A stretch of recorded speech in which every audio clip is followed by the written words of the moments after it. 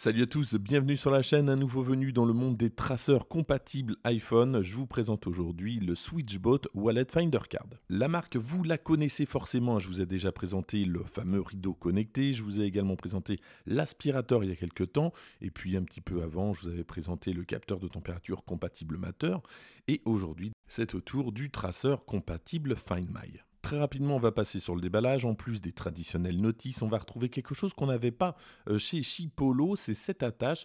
On va pouvoir donc attacher le, Finder euh, à, cette, attache et euh, cette attache, eh bien, on va la mettre autour du cou ou n'importe où.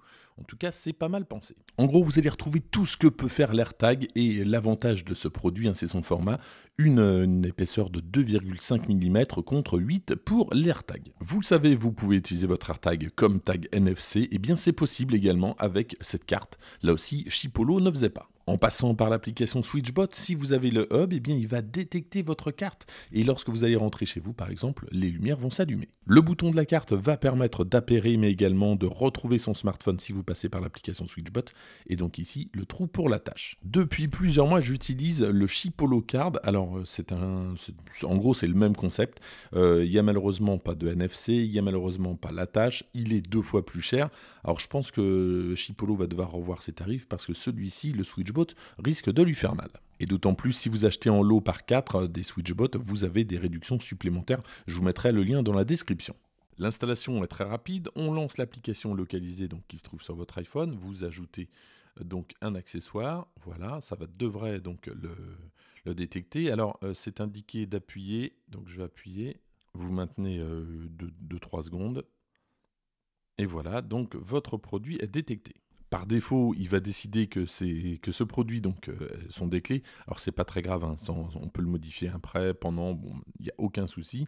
On peut euh, également euh, donc, lui donner une petite icône. Donc, alors, il y a, donc, ça peut être des clés ici, ou tout simplement, voilà, donc des emojis. Donc, ça, c'est possible. Évidemment, on va passer très rapidement là-dessus. Hein. Tout ça, c'est modifiable. Premier truc évidemment, vous allez pouvoir retrouver facilement votre portefeuille en cliquant juste ici. Bon, ça c'est classique. Comme pour l'AirTag, hein, ce produit n'a pas de GPS, mais il va pouvoir bénéficier du réseau Find My.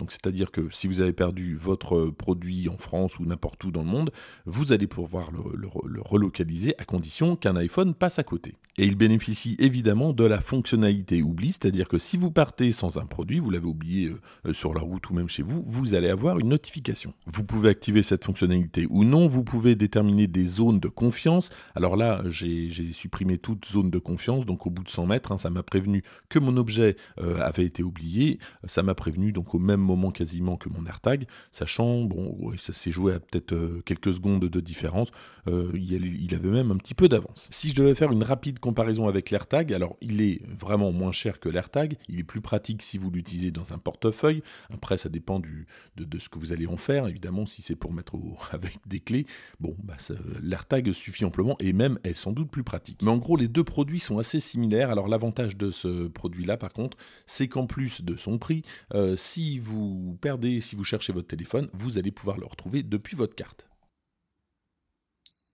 Je maintiens deux secondes sur mon Wallet Finder Card et voilà, il est repéré dans l'application Switchbot, j'ai plus qu'à l'ajouter. Alors il y a plusieurs avantages hein, à le mettre directement dans l'application Switchbot, vous pouvez également donc le laisser dans localiser, ça ne gêne pas du tout. Si vous le mettez dans Switchbot, donc vous allez pouvoir donc l'utiliser en NFC, notamment avec les produits Switchbot. Autre avantage, ça peut arriver si vous ne trouvez plus votre iPhone mais que vous avez uniquement votre Wallet euh, Finder Card, vous allez pouvoir retrouver facilement votre smartphone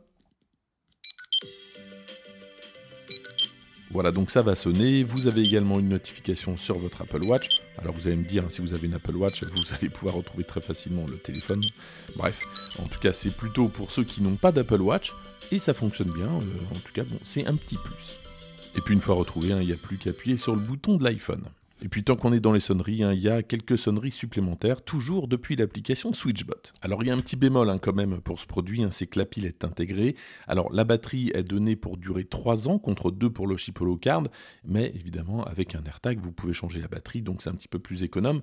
Donc ça, ça serait mon seul bémol pour ce produit. Dans les commentaires, surtout n'hésitez pas à me dire ce que vous pensez de ce Wallet Finder Card, moi je l'ai vraiment apprécié. Je pense qu'il a beaucoup euh, d'avantages par rapport en tout cas au Chipolo Card et même par rapport à l'AirTag.